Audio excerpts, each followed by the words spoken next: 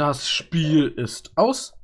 U21 EM Qualifikation für die EM im Jahre 2021. Aller Ersatz wieder mal wieder. Ähm, Weißrussland gegen Gibraltar. Gib, äh, Gibraltar kriegt übrigens auf die Fresse. Weißrussland zerschießt die wortwörtlich. Äh, viel mehr Ballbesitz. 30 zu 2 Schüsse, 18 zu 0 Schüsse aufs Tor. 65% Ballbesitz Weißrussland. Weißrussland klar besser. Das Spiel war in Gruppe 7 der U21 EM Quali, habe ich ja gesagt. Ähm, damit ist Weißrussland erstmal auf Platz 1 in der Gruppe. Gibraltar letzter mit zwei Spielen, 0 Siegen und einer minus 10er Tordifferenz. Glückwunsch an Gibraltar für die Leistung. Ne, Weißrussland verdient gewonnen. Glückwunsch. Und wenn sie jetzt Zypern noch so zerschießen, dann kommen sie in die äh, EM ohne Probleme.